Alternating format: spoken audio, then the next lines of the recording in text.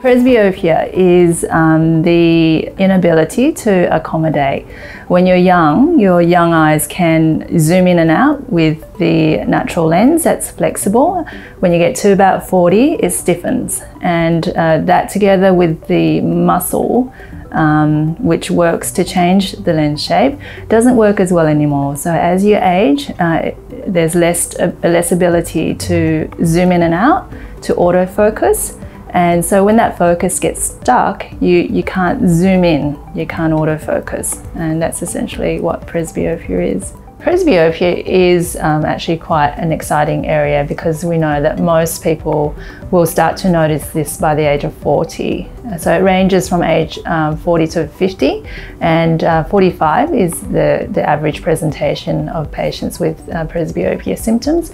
We are going to uh, see about 2 billion people with presbyopia by next year. So it's a lot of people who are getting into that age range and who I see a lot of patients with this condition and uh, and the good news is that there is a, a, lot of things we can do. So it ranges from corneal refractive procedures um, all the way to uh, implantable contact lenses and then lens replacement with lens-based um, surgeries, um, which is very similar to cataract surgery. So even patients who have cataracts, um, who in the past we have had, uh, you know, um, limited uh, lens choices, we now have multifocals and uh, these can address presbyopia very well. So we can retain the binocular vision for patients um, and give them the working distances. That we call it functional vision.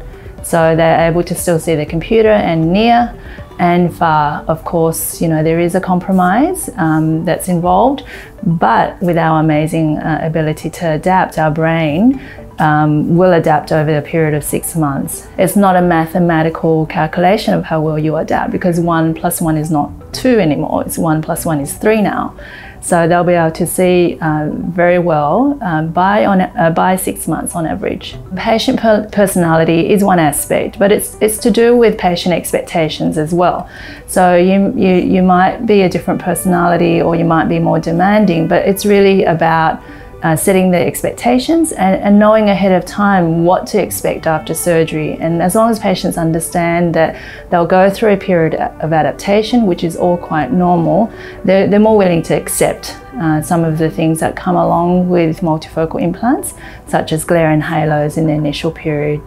So um, everybody is able to adapt. I, I, I think um, most people do adapt very well as long as they know beforehand what to expect. The other things I look for are things like the ability, the, the ability to be flexible and to learn, to love learning. Because as long as you love learning, you're generating new connections in your brain. Uh, as long as you're healthy, you, know, you love learning and you're active, um, most people will adapt. And you know, with motivation, they do adapt really well.